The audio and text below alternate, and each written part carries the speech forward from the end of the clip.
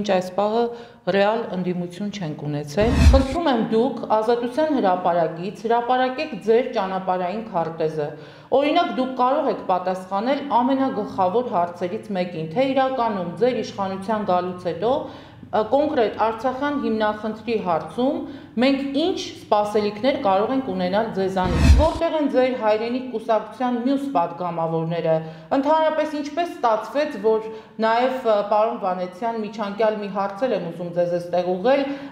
ինչ եղավ նաև վերահսկիչ պալատի նախկին նախագահ Իշխան Զաքարյանի ճակատագիրը, ով կարծես թե այսպես ձուկը ջրում, էլի կոմֆորտ պայմաններում կարողանում է փաստորեն շարունակել, հա, իր բնականon կյանքով ապրել, մեզ որևէ տեսակի ճնշում, որևէ հայտարարություն, որևէ կարծիք, որևէ գործողություն Դավիթ Տոնոյան, Դավիթ Տոնոյաններ, պատրոն Դավիթներ, հայրենի գեներալիցետ, ուրեմն ձեր ականջներին օղարեք, կլինի Օնիկը, կլինի, չգիտեմ, Մանիկը, կլինի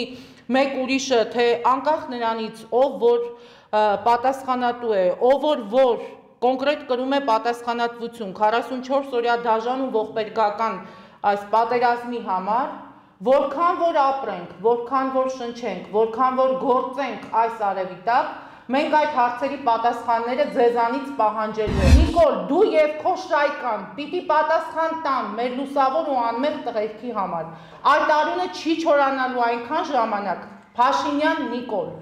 Քանի դեռ դուք չեք հատուցել մեր անմեղ ու լույս տղերքի համար։ Դուք գեր եք ոչնչացրել, դուք այսօր դեռ խոսելու տեղ ունեք։ Եվ եթե այս անձնական տվյալների դուրսբերման հետ կապված չեղան հստակեցումներ, չեղան ճշգրտումներ, թե իրականում ում ձեռքով, ինչ ճանապարհով, ինչ կերպ է իմ անձնական տվյալները դուրս գրվել փաստորեն ոստիկանության բաժանմունքից, ես բոլոր դեսպանատներով անցնելու եմ եւ Նիկոլ այդ դեսպանատների տեղերը մենք էլ գիտենք եւ շատ ու շատ դեսպաններ մեր տեղերն էլ գիտեն։ Ասում է իրականացված պատվերի ականջները ըստ էության փնտրեք այսօրվա իշխանականների մեջ։ Ես ձեզ նավոտկա եմ տալիս, մեջբերում եմ այդ երևույթի խոսքերը։ Էլ արժանապատվության անուն չտաս։ Դուք պետք է ձեր հողարկավորությունը ձեր ձեռքերով իրականացնեիք եւ որևէ մեկին տեղի ու ժամի մասին էլ չասեիք։ Եթե դուք ունենայիք ինքնասիրություն